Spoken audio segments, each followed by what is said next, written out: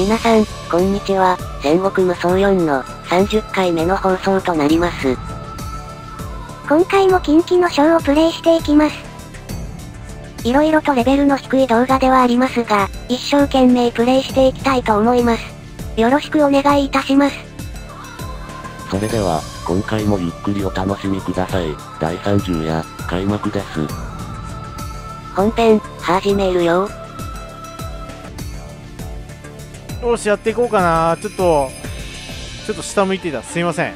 では、無双演舞やっていきます。今回は第2話、近畿の章、えー、金ヶ崎追撃戦をやっていこうかなと思います。前回、織田軍の方で、あの撤退戦やったんで、今回は逆だね。どういう展開になるか楽しみです。では、難しいやっていきましょう。信長を追撃できる、ワクワク、ワクワク。織田浅井連合軍の働きにより上洛を果たした足利義昭は第15代将軍に就任する。信長は義昭を統制下に置くと上洛命令に従わない越前朝倉家の討伐に向かった。その頃長政には抑えがたい感情が湧き上がっていた。今信長は長政に背を向けて朝倉討伐へ向かっている。あとは誰が長政の背中を押すかだった。同盟決裂した模様です。こうなったら古典版に織田軍を倒してしまいましょう。近畿の将金ヶ崎追撃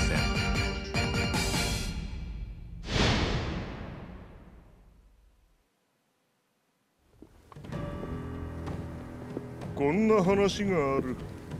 誰にでも親切な心優しき男が皆から意味嫌われる怪物と仲良くなったそうな。その男は怪物にも情が通じると思っていた。がその男は結局怪物に殺されてしまった。怪物は所詮怪物ということだ。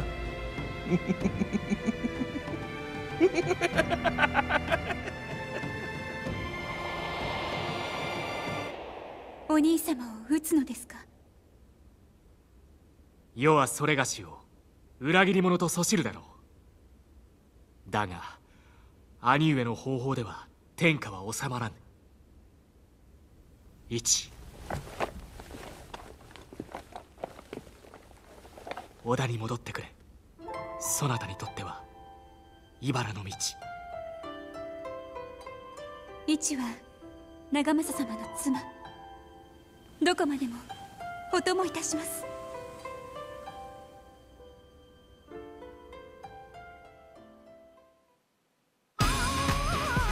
ではやっていこうか。今回じゃあ義継で行こう。時の流れには逆らえぬ。俺を忘れるな。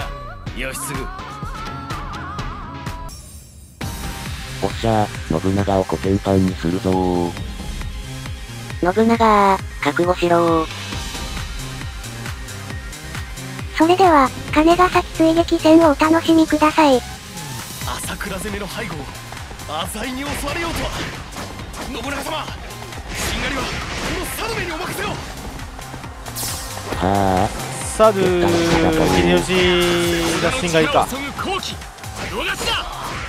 できる限り敵を撃ち天下を引き寄せる。海軍仕方ないね。織田の残党狩りでもしようか。完全に包囲されとる。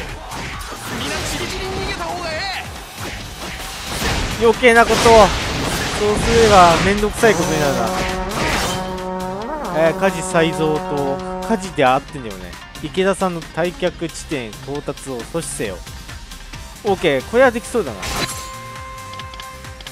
任せておけ。逃がすな。我らの覚悟。兄上と天下に見せるのだ。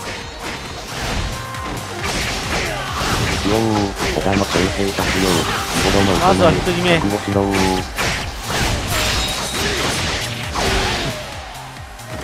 れに乗ったまでもいいぞ。で次は高戸田に買います。よし。いけ。先は通さないぜ前田刑事対角に将を撃つのは手とはなかった仕方ない。池田さんこっち来い。我が軍に挑め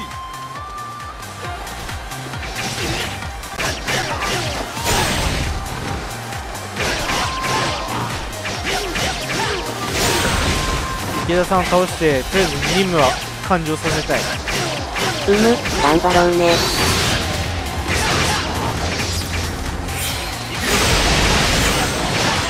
OK あっぱれ。我らも続け。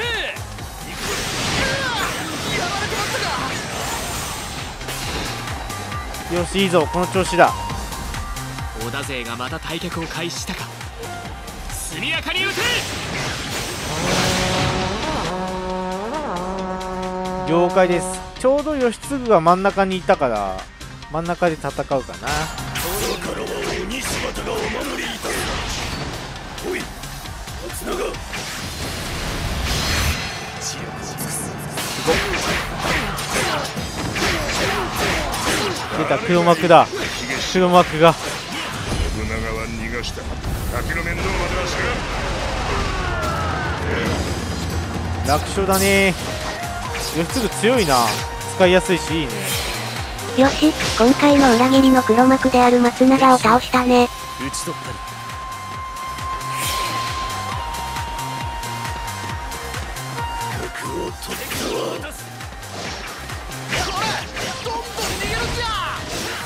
うわー痛い。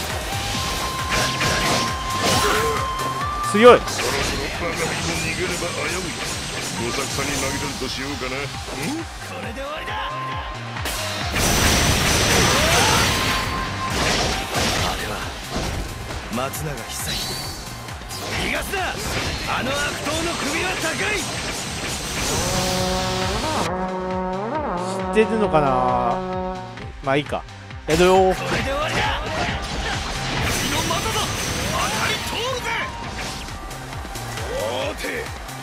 まずい。様に付き合ってもらおうか。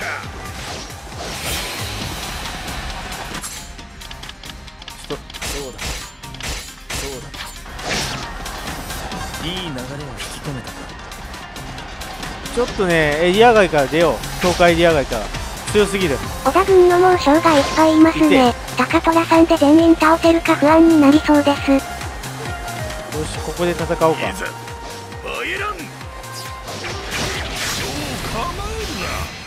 えるな我が輩はただの小悪党だそうはいらぬか鬼柴田の首はここぞい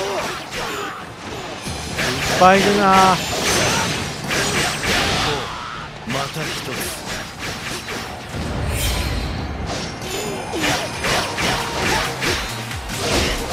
わあ強い強い強い。頼む下がってくれわかった。下がるよ。やべえな強いな。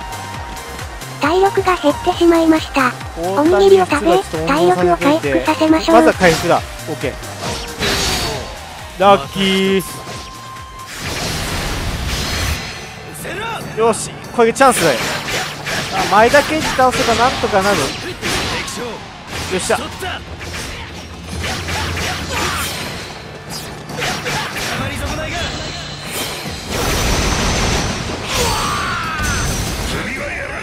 オッケーやったー自分がつけた火で焼け死んではバカなも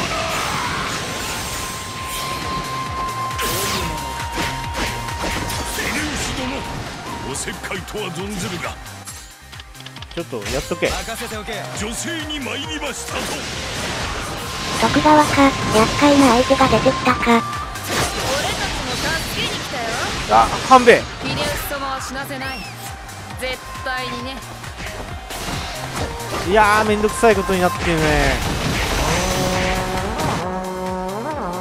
えー、っと分かった。了解です。長秀を抑えよう。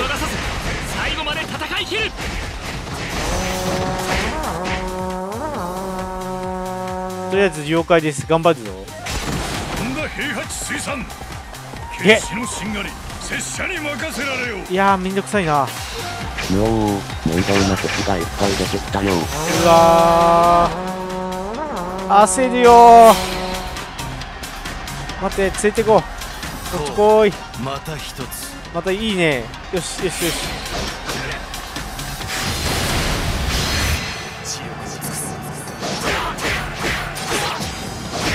ここで決着をつける。この4人をなんとか倒そう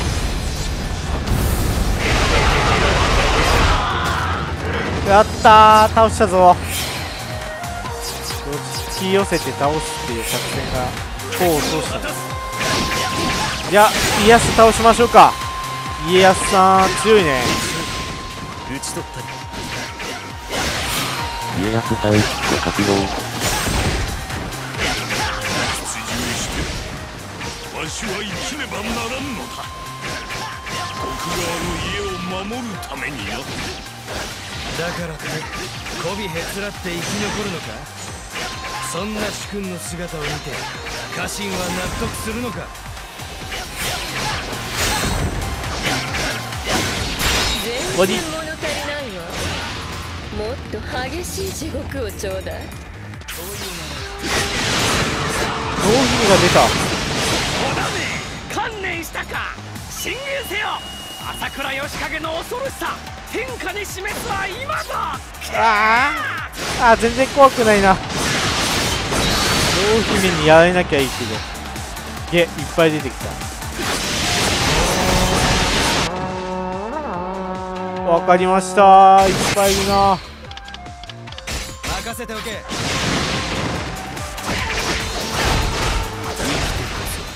果たせるものの考え方は嫌いではないが私のこと忘れられなくしてあげる。そんなこと言われてもな。忘れちゃうかもしれないじゃないか。よしやろう。勝った。上を狙う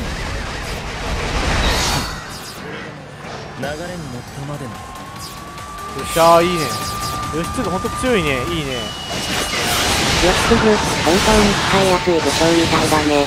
今後もいっぱい使うかもしれない。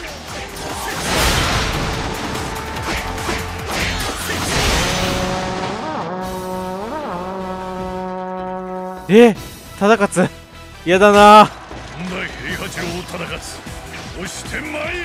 仕方ない。使うぞ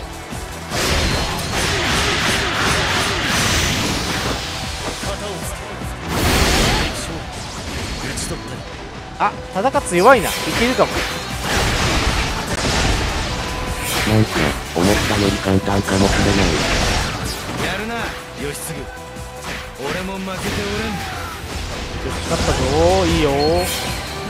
責務を果たす義継長政様はついに天下を取る決意を。俺は良き主君に出会えた。打たれるんだ世の流れは織田にある。流れに逆らったら砕かれるだけだ。すぐはもう先を読んでんだぬるかなこ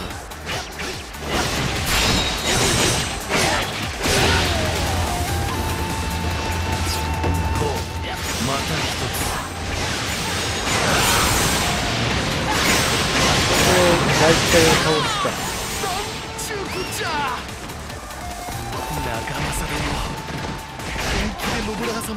超えるんじゃなこのままこもっててもどうにもならん。打って出て数を開くんじゃ待って半兵衛倒そうあー磯野さん大丈夫平時は知性の道存亡の道考えてきてる半兵衛を倒したら、秀吉を倒して決着をつけよう。半兵衛強いなでは強いっていうか防御力高いなならば。よ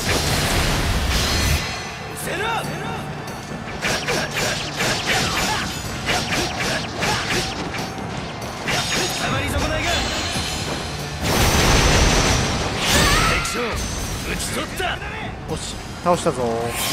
いや大鳥は。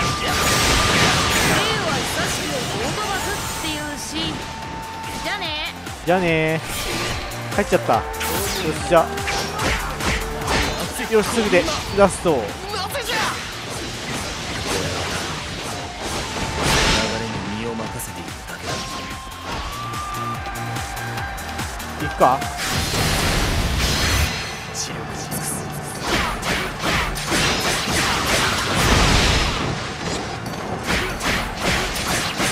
あともう少し。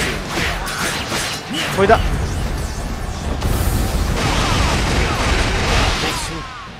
打ち取った。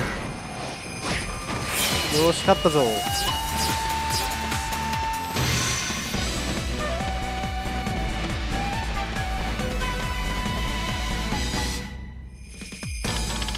あーおいちなのね。了解仕方ないですよ。時間がある時には1でプレイしましょう。おおレベル16いいねあー14は来たかったな。まあいいか。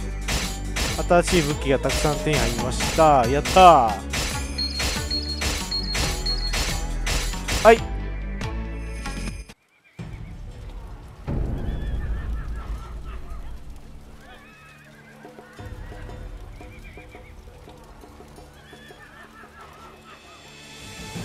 東堂高虎大谷義継そなたたちの先行を称して感情を送りたい。私のような下級の者の働きまで見てくださったのですか？先行に貴賤の別はないさ。働きにふさわしい恩賞を与えるのが主君の務めだ。ありがたき幸せ。このご恩たとえ死しても報いましょう。高虎死んではならぬ。乱世を生き抜き新たなる時代を共に作ろう。それがしには今もそして未来にも必要なのだ。そなたのように若く才気あふれる者の力が長政様。ありがたきお言葉。大谷義継そなたの軍略も見事であった。今それがしの軍勢はまだちっぽけだがいつかそなたの力に見合った大軍を預けてみたいその時は引き受けてくれようかはご期待に添えるよう努力いたします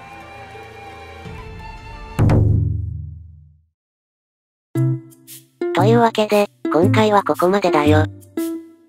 このコーナー、自由にお話しする時間です。ごゆっくりお楽しみください。それでは、スタート。金ヶ崎追撃戦、小田勢をコテンパンにしましたね。私は個人的に、気持ちが晴れました。でも、肝心の織田信長は撤退してしまっていたため、そこの部分は残念でならないよ。カイ君は、どう思ってるかい？織田信長、倒せなくてショックだ。次相手するときは、絶対に倒してやるぞ。おやー。闘志に燃えているカイ君であった。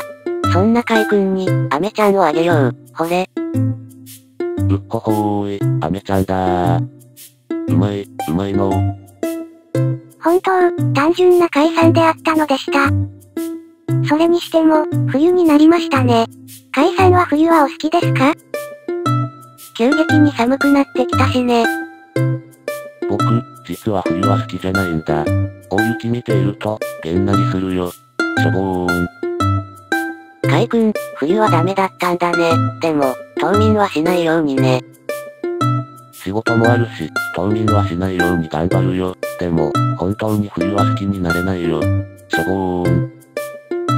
この冬、なんとか乗り越えられますように。あ、カイ君、そろそろ時間だから挨拶をしよう。今回はここまでで終わりたいと思います。ご視聴、ありがとうございました。また会いましょう。じゃあねー。